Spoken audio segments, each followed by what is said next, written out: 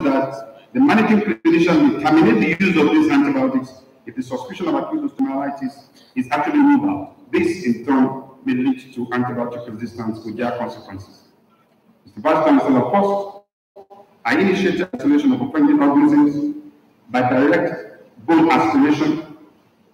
My research interest was further broadened with an International Atomic Energy Agency grant in 2005 for a three-month stay in nuclear medicine department at the Castelline Hospital in Cairo.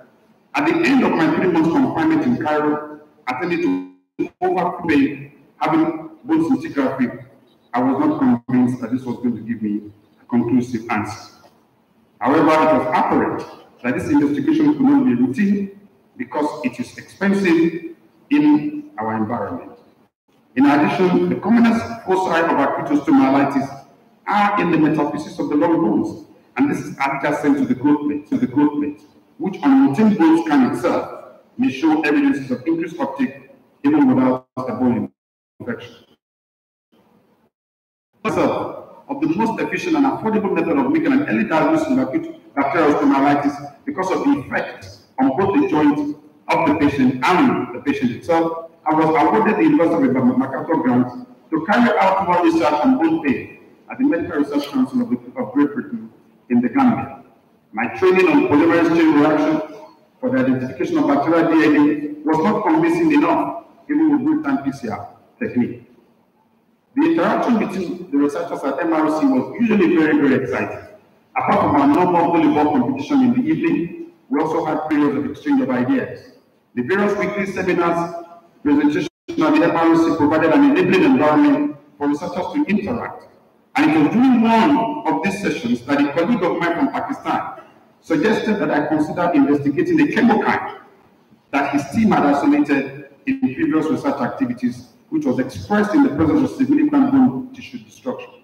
My seminar presentation on the evaluation of the serum level of monocyte chemoattractant protein 1, MCP1 in short, as a marker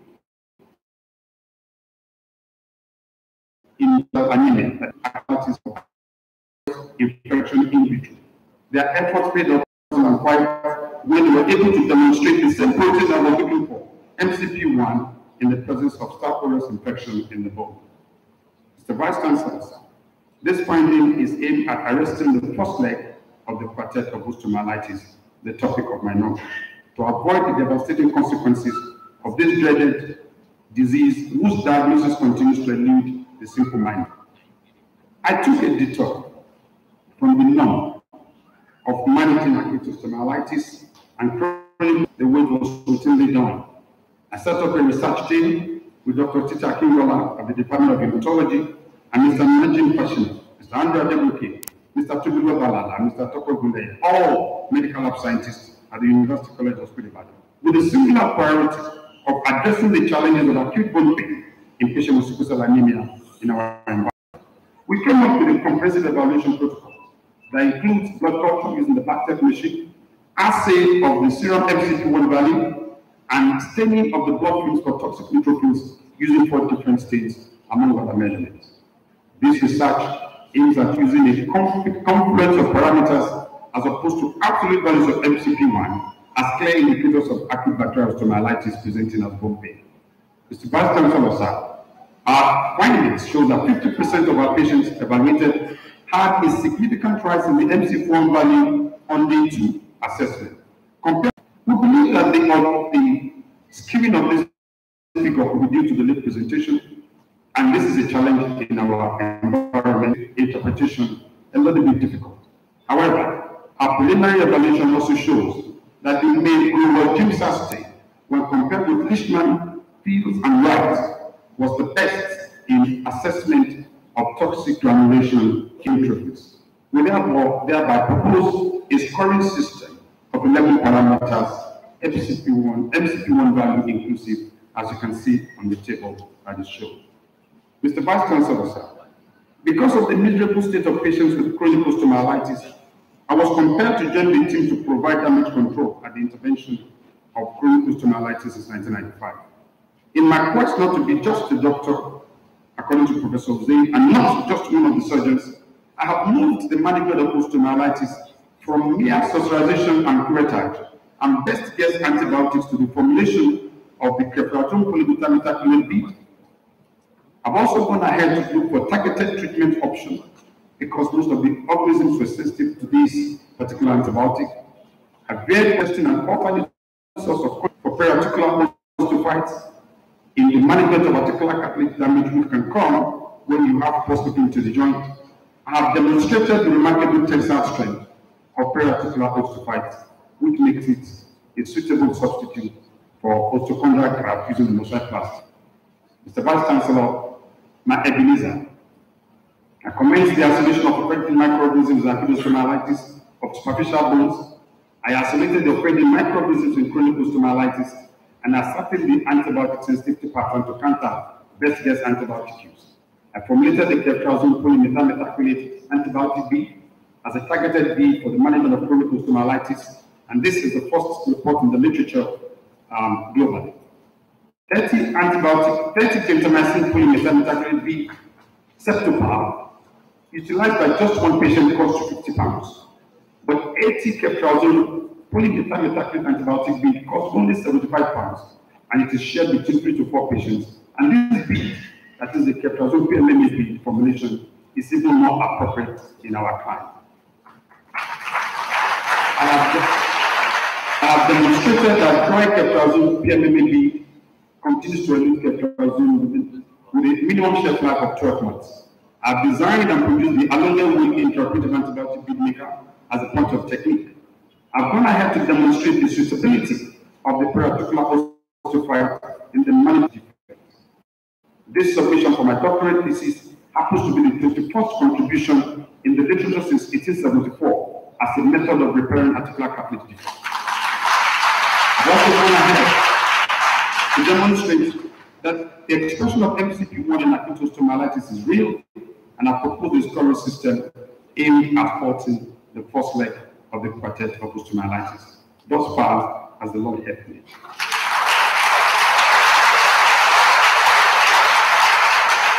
Mr. Vice armed with this piece of information, the first leg of the quartet has received the red card and the race is over.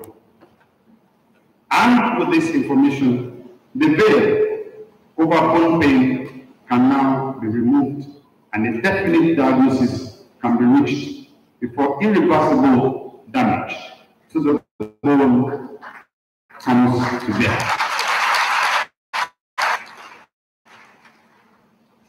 The veil has finally been removed, and we can see through and differentiate both pain in people with sickle cell anemia. Proverbs chapter 16, verse 3 reads, We can make our plans, which I did at the age of 10, but the Lord gives the right answer upon the age of 59. Proverbs 16, verse 3 says, Commit your plans unto the Lord, and your plans will succeed. The partnership between me and my efforts and my God who took control has been fruitful in this past 50 years. I give all the glory and honor to him because he is a mighty God.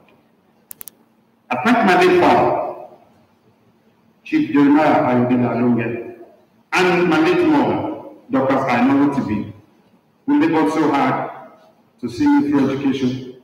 And my late mother actually attended adult education classes when she was carrying my pregnancy. And I also attended the same classes before I got to the University of Ibadan as a lab attendant in the University. I thank my stepmother and my siblings on both sides. But I lost my mother almost two decades ago. I've had the support and prayers of other mothers. My second mother, Reverend Mrs. Ajoke Oluwaleyemi, who has always had me on the mind since I proposed and actually went ahead to marry her daughter, Timitope.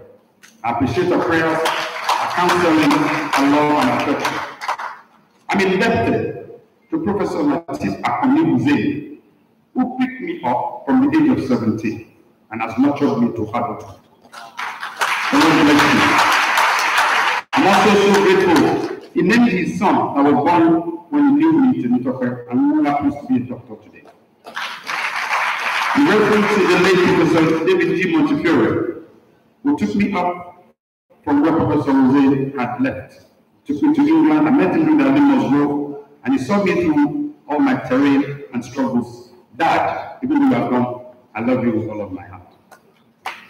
My gratitude goes to Professor Bradley, who stood up for me and enrolled into residency training program in surgery, and he still believes in me 30 years after. I'm grateful to Professor Didi Ajayi, whose affection for me began in 1983 when I was his house officer.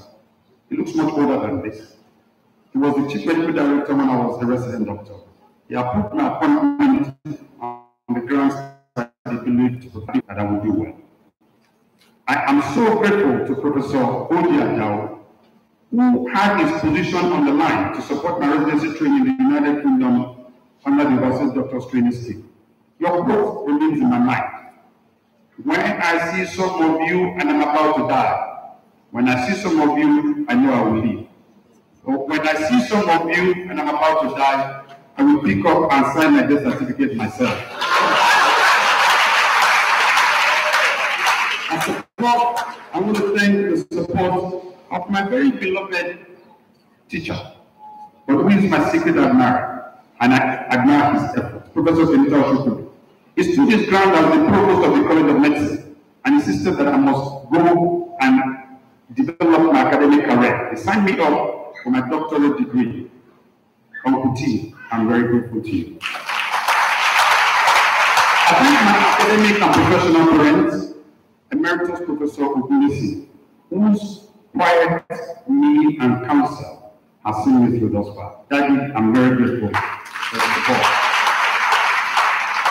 Sadly but honestly, I have come to accept the fact that there are no friends among equals. But some of my friends and colleagues have been supportive and they have defied this seeming reality of everyday life. I'm deeply indebted to Professor Eyitope Ogunbodede, the Vice Chancellor of the University of Ife, who has been my mentor since 1974, and on instruction I'm giving this inaugural today. I appreciate the support of my friends, Professor Jonah Neto and Professor Oluwabunmi This was our graduation at the University of Leicester in year 2000. I call them my genuine academic times. I appreciate the members of the, the three crusaders for academic justice and equity, Professor Bill Taiwo and Professor Shegun Adimawo. These are my true friends, Professor Basil Okanalam, Professor of Cardiology, and Mr. Muyo a seasoned geologist who has continued to support me even as the chief executive of UCH. I'm indeed very grateful to my parent association, MDCAN, for standing by me. I'm grateful to ASUU, I'm grateful to SSANU, SSA, NASU, for allowing this inaugural to take up and go on despite the NLC strike. I'm grateful to the official of Noah, Malu, and the entire family. I thank my research team, Dr. Tita Kingola, and all the members of the team. I also thank Dr. Iduwayede, Dr. Victor uh, Akinoladu, Ajibi, most valuable and most importantly, the man in the IT, Mr. Peter Owushio. I thank my senior pastor, Pastor Alex Adeboye, whose ministry, the Word Alive Ministry, has provided me the scripture platform that has continued to support me in its entirety. I thank my late Pastor James Agibisi Adeyemi, who has gone to be with the Lord. But I thank his wife, now my resident pastor, Pastor Dr. Lee Adeyemi, who has not left me, but has continued to uphold and pray for me in all of my challenges. I thank the executive governor of my state, Ondo State, Arakunrin Tunyakeredu, for on calling for my number, and the deputy governor of Oyo State, Chief Alaki Adeyemo. And my father from the city of the king, Oyo, Prince Afunja. I thank my friend, Mr. Victor Chogo, who has taken time to come from his busy schedule from Lagos. I thank my devoted and dedicated staff who have shielded me from various evils. Please forgive them if you're not allowed to see me often. They've kept me faith, and I thank my siblings on both sides of the divide. God, in His infinite mercy, has blessed my wife and I with three wonderful children.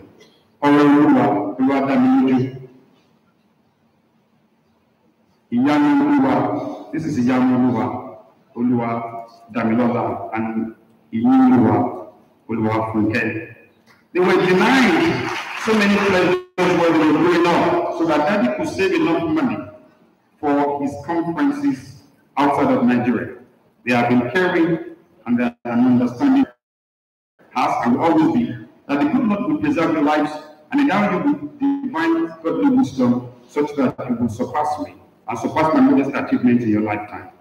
I thank the Honorable Minister of State for Health, Dr. Ehanire, ably represented here today by my friend and colleague, Dr. Mustafa Alimi, the Medical Director of National Orthopedic Hospital, Igbobi. I thank you, sir, for finding time.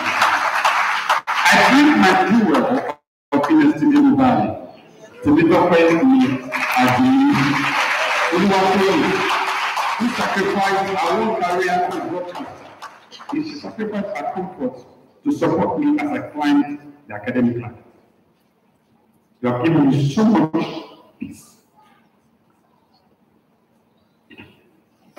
And no promise. By making research and clinical services plausible and possible. You have serviced the altar prayer with tears and groaning that has attracted the attention of our good Father. Timitope, thank you does not seem strong enough to express my gratitude to you. I want you to know, and I declare publicly that I will always love you. Thank you from all of us.